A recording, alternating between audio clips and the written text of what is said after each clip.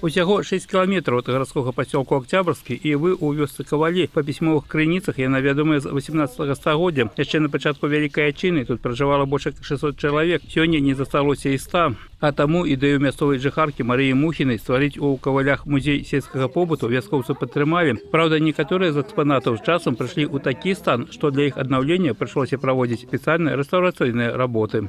Кажется, что так просто. Даже отстирать вот эту вещь, ее стираешь только э, ручная работа э, с содой. И не один раз, 5, 6, 7. Если уже там не получается сохранить ее как простыня или там что-то еще, тогда я уже в рамочку беру хоть кусочек, показать людям, что они принесли, что ж сохранила я памяць щоб была галоўная задача музея чароўны скарб пакінуць малодшаму пакаленню памяць пра тое што знікае традыцыйную беларускую вёску прылады працы і быту гаспадара селяніна яшчэ некалькі дзесяцігоддзяў таму ўсё гэта можна было ўбачыць практычна ў любой хаце а сёння ўжо лічыцца амаль што рарытэтам хоць ёсць тут і сапраўды рэдкія экспанаты Адзін з самых старых экспанатаў жаночая сукенка. Такія населі жанчыны падчас скарблення маленькіх дзяцей. Гэты экземпляр выраблены больш як 300 гадоў таму. Такой вопраткай сёння можа пахваліцца далёка не кожная этнаграфічная калекцыя буйных дзяржаўных музеяў. Сёння сярод наведвальнікаў музея чароўны скарб жыхары Беларусі, рассіі, Украіны, але найбольш частыя наведвальнікі жыхары раёна, якія прыходзяць сюды цэлымі сем'ямі і абавязкова расказваюць аб музеі усім гасцям.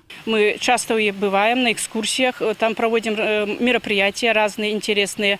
Как выходим туда, так она сюда приходит. И очень много интересных. Заснавальнік і ўладальнік прыватнага музея Марыя Мухіна кажа, што зараз разнастайных рэчаў назбіралася столькі, што можна адкрываць яшчэ одну экспазіцыю. Стрымлівае адно. Хата пад яе ёсць, але яна патрабуе рамонту, сваімі сіламі не справіцца. А пакуль гэтая праблема чакае свайго вырашэння, жанчына разам з роднымі пасадзіла ў вёсцы каля 500 дрэў. Урэшце гэта таксама своеасаблівы музей, у якім захаваецца памяць аб сучасным пакаленні. Планируем сейчас посадить аллею э, каштанов, уже подращиваем каштаны, и будет аллея, э, вот одни каштаны будут по обе стороны, чтобы можно было проехать, посидеть.